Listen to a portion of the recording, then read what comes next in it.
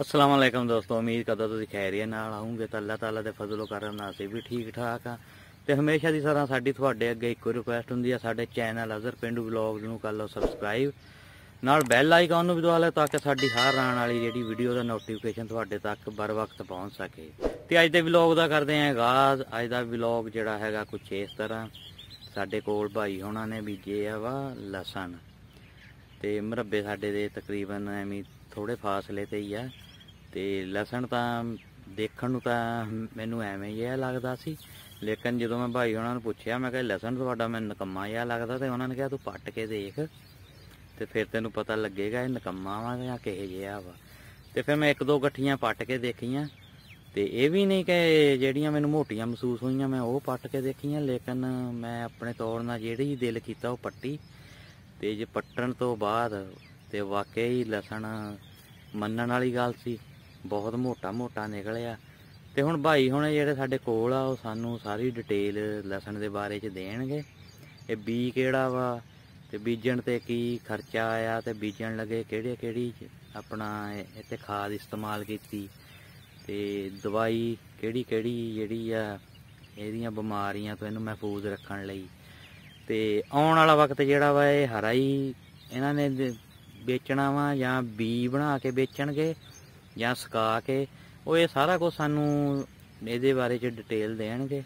ਤੇ ਜੀ ਤਫਸੀਲ ਜਾਣਨ ਤੋਂ ਪਹਿਲੇ ਜਿਹੜਾ ਵਾ ਭਾਈ ਉਹਨਾਂ ਸਾਨੂੰ ਇੱਕ ਦੋ ਗੱਠੀਆਂ ਜਿਹੜੀਆਂ ਪੱਟ ਕੇ ਦਿਖਾਉਣਗੇ। ਵੈਸੇ ਤਾਂ ਪਹਿਲੇ ਵੀ ਭਾਈ ਉਹਨਾਂ ਨੇ ਪੱਟੀਆਂ ਸੀ ਦੋ ਤਿੰਨ ਗੱਠੀਆਂ। ਲੇਕਿਨ ਮੈਂ ਕਿਹਾ ਨਹੀਂ ਤੁਸੀਂ ਵੀਡੀਓ 'ਚ ਨਾ ਦੋ ਤਿੰਨ ਗੱਠੀਆਂ ਪੱਟ ਕੇ ਦਿਖਾਓ। ਹੈਦਾ ਨਾ ਅਹਿਮਦ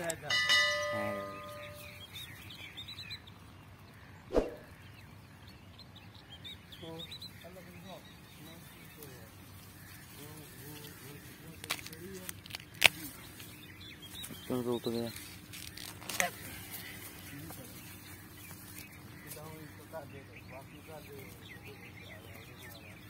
ਮਾਸ਼ਾਅੱਲਾ ਜੀ ਲਸਣ ਦੇ ਤਾਂ ਜਿਹੜੇ ਗੰਡੇ ਬਹੁਤ ਮੋਟੇ ਮੋਟੇ ਆ ਐਨਏ 756 ਹੈ ਉੱਚੀ ਦਾਤ ਨਾ ਐਨਏ 756 ਬੀ ਦੀ ਵੈਰਾਈਟੀ ਹੈ ਅੱਛਾ ਤਕਰੀਬਨ ਇਹ ਅੰਦਾਜ਼ਨ ਜਿਹੜਾ ਹਰਾ ਵਾ ਨਾ ਉਹ 300 ਮਨ ਕਿੱਲੇ ਦੇ ਵਿੱਚ ਨਿਕਲਦਾ ਠੀਕ ਤੇ ਇਹ ਇਹਨੂੰ ਤੁਸੀਂ ਖੁਸ਼ ਕਰਕੇ ਵੇਚਣਾ ਚਾਹੁੰਦੇ ਆ ਤੇ 100 ਮਨ ਤੋਂ ਉੱਪਰ ਚੱਲ ਜਾਂਦਾ। ਇਹ ਆਪਣਾ ਇੱਧਰ ਇੱਕ ਦਵਾੜਾ ਲਾਇਆ ਹੋਇਆ ਵਾ ਲਸਣ ਦਾ ਇਹ ਤਿੰਨ ਕਨਾਲਾ ਥਾਂ ਉਹ ਉਧਰ ਲੱਗਾ, ਸੱਤ ਕਨਾਲਾ ਐਸਾ ਵਾ, ਪਹਿਲੀ ਦਫਾ ਦਾ ਤਜਰਬਾ ਸਾਡਾ। ਜਿੱਥੋਂ ਵੀ ਪੱਟ ਲਓਗੇ ਨਾ, ਇਹੀ ਸਾਈਜ਼ ਨਿਕਲਣਾ ਦੇਖੋ ਇੱਧਰ।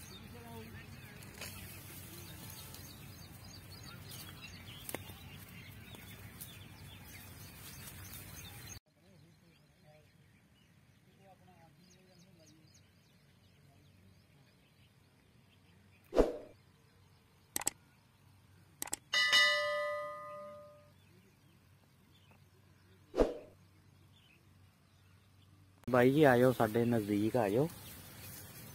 ਤੇ ਸਾਰੀ ਜਿਹੜੀ ਤਫਸੀਲ ਤੋਂ ਸਾਨੂੰ ਆਗਾਹ ਕਰਨਗੇ। ਹਾਂਜੀ ਬਾਈ ਪਹਿਲੇ ਤੁਸੀਂ ਆਪਣਾ ਜਿਹੜਾ ਵਾ ਸਭ ਤੋਂ ਪਹਿਲੇ ਆਪਣਾ ਨਾਮ ਦੱਸੋ। ਅਹਿਮਦ ਰਜ਼ਾ। ਤੇ ਆਪਣਾ ਗਾਉਂ ਕਿਹੜਾ?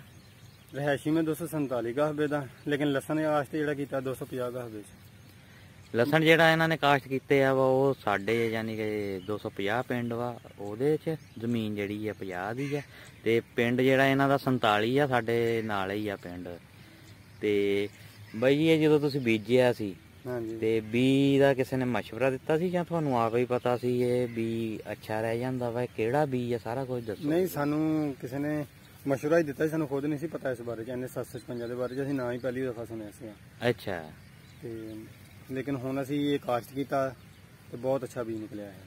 ਹਾਂਜੀ ਉਹ ਤਾਂ ਮੈਂ ਦੇਖਿਆ ਵਾ ਤੁਸੀਂ ਪੱਟੇ ਆ ਤਾਂ ਮੈਂ ਖੁਦ ਵੀ ਪੱਟ ਕੇ ਦੇਖਿਆ ਵਾ ਤੇ ਮਾਸ਼ਾਅੱਲਾ ਬਹੁਤ ਮੋਟਾ ਹਾਂਜੀ। ਜਿਹੜਾ ਵਾ ਨਿਕਲਿਆ ਇਹ ਦੇਖ ਸਕਦੇ ਆ। ਆਪਣਾ ਜਦੋਂ ਬੀਜਿਆ ਤੁਸੀਂ ਹਾਂਜੀ। ਤੇ ਇਹ ਬੀ ਦਾ ਜਿਹੜਾ ਲੈਦਾ ਖਰਚਾ ਦੱਸਣਾ ਬੀ ਕਿੰਨੇ ਦਾ ਆਇਆ ਸੀ ਕਿੰਨੀ ਜਗ੍ਹਾ ਇਹਨਾਂ ਬੀਜ ਹੋਈ ਆ ਤੇ ਇੱਥੇ ਜਿਹੜੀ ਖਾਦ ਸਪਰੇ ਉਹਦਾ ਵੀ ਤੁਸੀਂ ਸਾਰਾ ਕੁਝ ਡਿਟੇਲ ਨਾਲ ਦੱਸੋ। ਇਹ ਬੀ ਤੇ ਮੁxtਲਿਫ ਰੇਟ ਸੀਗੇ ਇਹਦੇ ਕੋਈ 12000 ਨੂੰ ਮੰਨ ਕੋਈ 14000 ਨੂੰ ਮੰਨ ਉਸ ਟਾਈਮ ਸੀਗਾ ਮੁਕਤ ਰੇਟ ਹੁੰਦਾ ਜਿਸ ਤਰ੍ਹਾਂ ਮਾਰਕੀਟ ਚੜ ਜਵੇ ਇਹਦੀ। ਠੀਕ ਹੈ। ਤੇ ਉਸ ਟਾਈਮ ਇਹਦਾ ਰੇਟ ਕਾਫੀ ਹਾਈ ਸੀਗਾ। ਕਰਾਚੀ ਵਾਲੀ ਸਾਈਡ ਤੇ ਤੇ ਬਹੁਤ ਜ਼ਿਆਦਾ ਹਾਈ ਸੀਗਾ। ਇੱਧਰ ਸਾਡੇ ਇਲਾਕੇ 'ਚ 12 14000 ਰੁਪਏ ਮਨ ਅਵੇਲੇਬਲ ਸੀਗਾ। ਉਸ ਟਾਈਮ ਅਸੀਂ ਇਹ 6 ਕਨਾਲ ਜਗ੍ਹਾ ਵਾਸਤੇ 6 ਮਨ ਬੀਜ ਲਿਆ ਸੀ। 6 ਕਨਾਲ ਵਾਸਤੇ 6 ਮਣ ਬੀ ਹਾਂਜੀ ਇੱਕ ਕਨਾਲ ਦੇ ਵਿੱਚ ਇੱਕ ਮਣ ਬੀ ਲੱਗਦਾ ਇਹਦਾ। ਅੱਛਾ ਜੇ ਤੁਸੀਂ ਲਾਇਆ ਇੱਕ ਮਣ ਨਾਲ ਇੱਕ ਕਨਾਲ ਲੱਗ ਗਈ ਫਿਰ? ਇੱਕ ਮਣ ਨਾਲ ਇੱਕ ਨਾਲ ਲੱਗ ਜਾਂਦੀ ਆਸਾਨੀ ਨਾਲ। ਠੀਕ ਹੈ। ਤੇ ਬਾਕੀ ਉਹ ਤੋਂ ਬਾਅਦ ਫਿਰ ਇਹਨੂੰ ਜਿਹੜੀ ਖਾਦ ਵਗੈਰਾ ਉਦੋਂ ਹੀ ਪਾਤੀ ਸੀ ਕੀ ਕੀਤਾ? ਇਹ ਜਦੋਂ ਇਹਨੂੰ ਤੁਸੀਂ ਕਾਸ਼ਤ ਕਰਨਾ ਨਾ ਬੀਜਣ ਤੋਂ ਪਹਿਲਾਂ ਇੱਥੇ ਤੁਸੀਂ ਖਾਦ ਪਾ ਦੇਣੀ ਆ ਜ਼ੋਰਾਵਰ ਜਾਂ ਡੀਏਪੀ ਜਿਹੜੀ ਤੁਹਾਨੂੰ ਪਸੰਦ ਹੋਵੇ ਤੁਹਾਡੀ। ਜ਼ਮੀਨ ਦੇ ਹਿਸਾਬ ਦੇ ਨਾਲ। ਠੀਕ। ਇੱਕ ਤਜ਼ਾਬੀ ਆ ਇੱਕ ਸਾਸੀ ਖਾਦ ਆ ਜਿਹੜੀ ਦਿਲ ਕਰਦਾ ਤੁਹਾਡੇ ਮੌਜੂ ਆ ਉਹ ਤੁਸੀਂ ਖਾਦ ਇਹਨੂੰ ਪਾਉਣੀ ਆ। ਦੋ ਬੋਰੀ ਡੀਏਪੀ ਜਾਂ ਜ਼ੋਰਾਵਰ 30 ਏਕੜ ਨੂੰ। 30 ਏਕੜ ਠੀਕ ਹੈ। ਇੱਕ ਬੋਰੀ ਐਸਓਪੀ ਪੋਟਾਸ਼ ਪੋਟਾਸ਼ ਠੀਕ। ਹੋ ਗਿਆ। ਇਹ ਇਹਨੂੰ ਬੀਜਣ ਤੋਂ ਪਹਿਲਾਂ ਤੁਸੀਂ ਇੱਥੇ ਪਾ ਦੇਣੀ ਹੈ ਥੱਲੇ ਖਾਦ।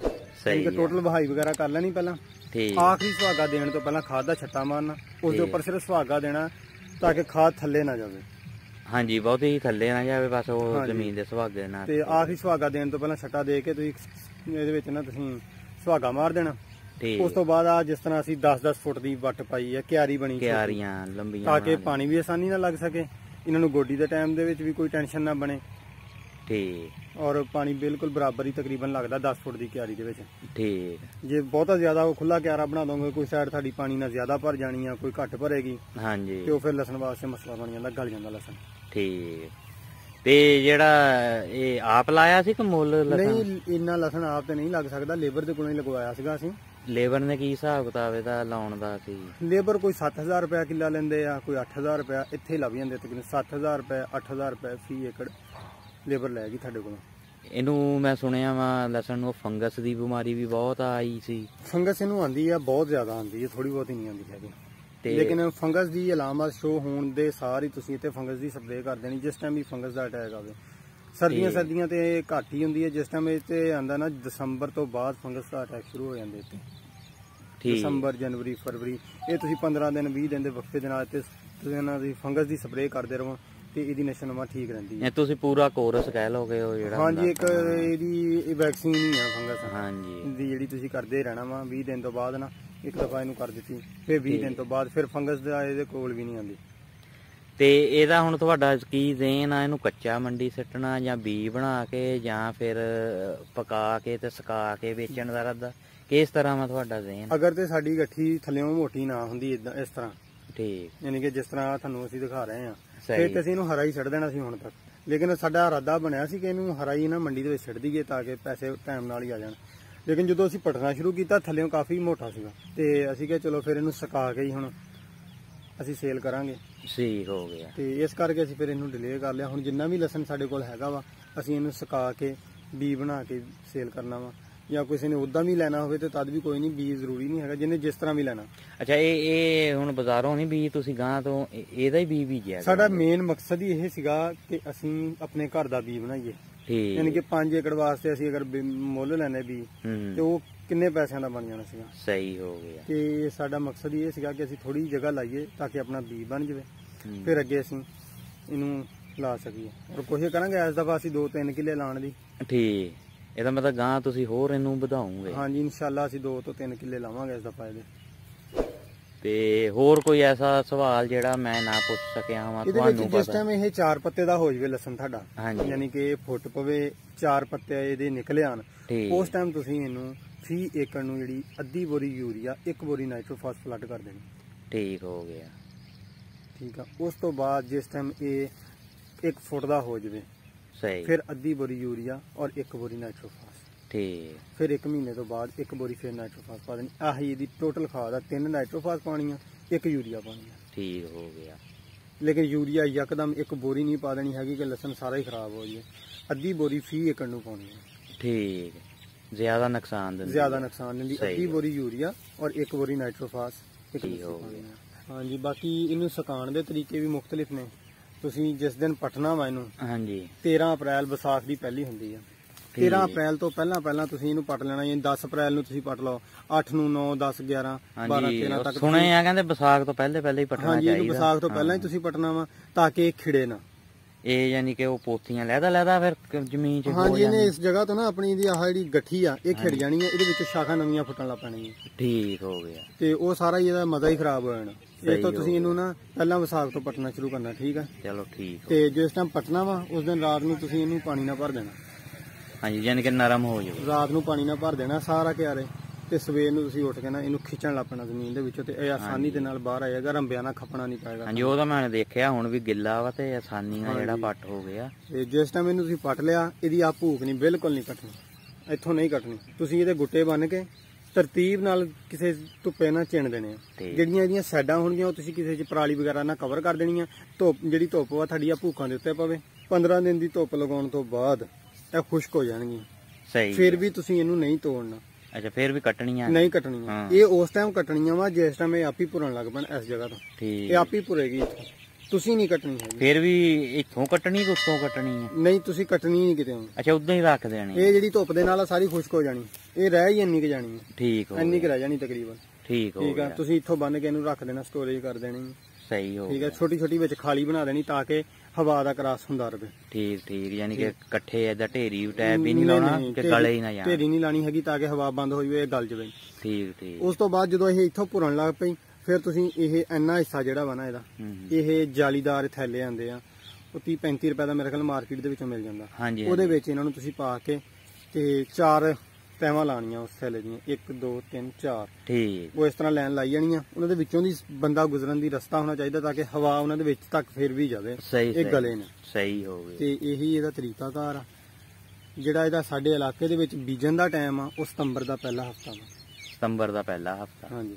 ਉਦੋਂ ਇਹਦੀ ਬਿਜਾਈ ਸ਼ੁਰੂ ਹੋ ਯਾਨੀ ਕਿ ਹੋ ਸਾਨੂੰ ਜਿਸ ਟਾਈਮ ਅਸੀਂ ਸਤੰਬਰ ਦੇ ਵਿੱਚ ਪਹਿਲੇ 2 ਤਰੀਕ ਨੂੰ ਅਸੀਂ ਸ਼ੁਰੂ ਕਰ ਦਿੱਤਾ ਸੀ ਲਗਾਉਣਾ। ਠੀਕ ਹੋ ਤੇ। ਸਾਡੇ ਇਲਾਕੇ ਦੇ ਜਿੰਨੇ ਵੀ ਬਜ਼ੁਰਗ ਲੋਕ ਆ ਉਹਨਾਂ ਨੇ ਕਿਹਾ ਸਾਡਾ ਲਸਣ ਸੜ ਜਾਣਾ।